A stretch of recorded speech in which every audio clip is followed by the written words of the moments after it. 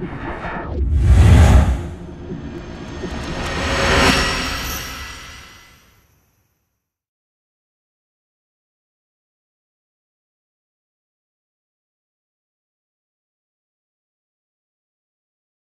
mňa stojí Veronika Gulášová, vlastne sme krátko sa po šampionáte. Uh, vlastne bola to taká tvoja premiéra tu na, uh, čo sa týka Európskeho šampionátu. Ako to hodnotíš?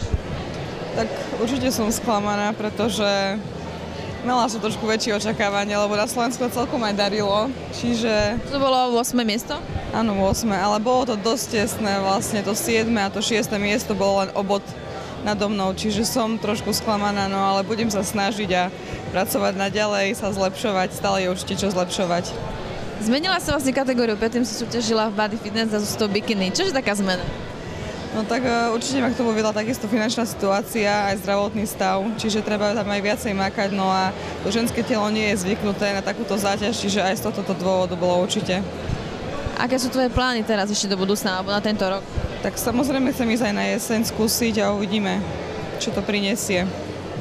A dá sa povedať, že vlastne okrem toho, že súťažíš, ešte čomu sa venuješ? My sme sa predtým spolu, dá sa povedať, stretávali a trénovali na bojových športoch.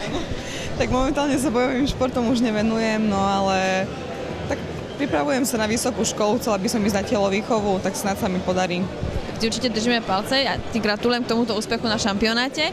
Uži si tento večer, vlastne tu záverečný banket Santa Zuzane. Dúfam, že sa čo skoro uvidíme na ďalšom šampionáte. Hlavne veľa úspechov. Nezdávať sa, lebo bez, bez boja nie je víťazstvo a vidíme sa čo skoro určite. Určite. A ja nie som taká malá, ale ona má veľké, vysoké topánky.